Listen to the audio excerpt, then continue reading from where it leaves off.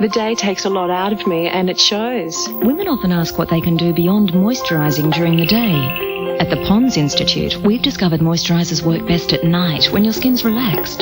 That's why we've developed Pond's Night Replenishing Cream. It works while you're asleep.